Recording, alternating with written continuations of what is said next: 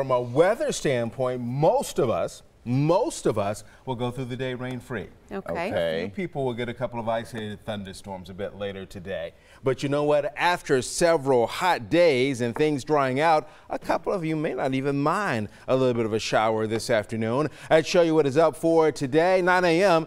Look for a temp right around 80 at noontime today, 89, 3 o'clock. Look for a temp right around 93. Partly cloudy skies, but about a 2 in 10 chance for a shower or a thunderstorm as we work our way later in the day. Right now from Clarksville, you're starting this morning at 73 degrees. We've been rain free for the nighttime hours and rain free since the beginning of the work week.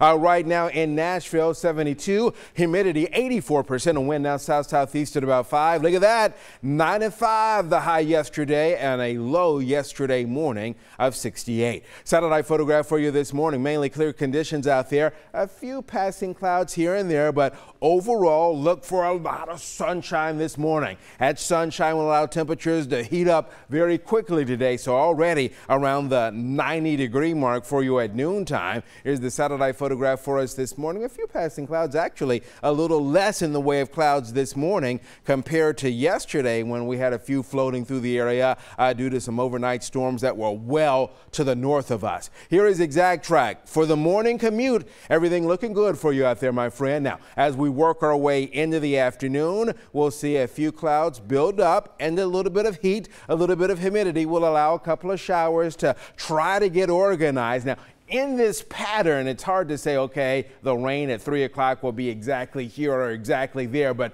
this does give you kind of a general idea uh, that that chance may be a little bit greater down in our southern and southeastern counties. What's out there gradually dying down past sunset and we'll go through this cycle again for tomorrow. This afternoon here in Nashville, 94, then for tonight, 73, 93 for tomorrow, 89 on Friday. We're going to run a rain chance in here for the next couple of days, get a little weak front through here. Behind it, we dry out for Sunday and for early next week.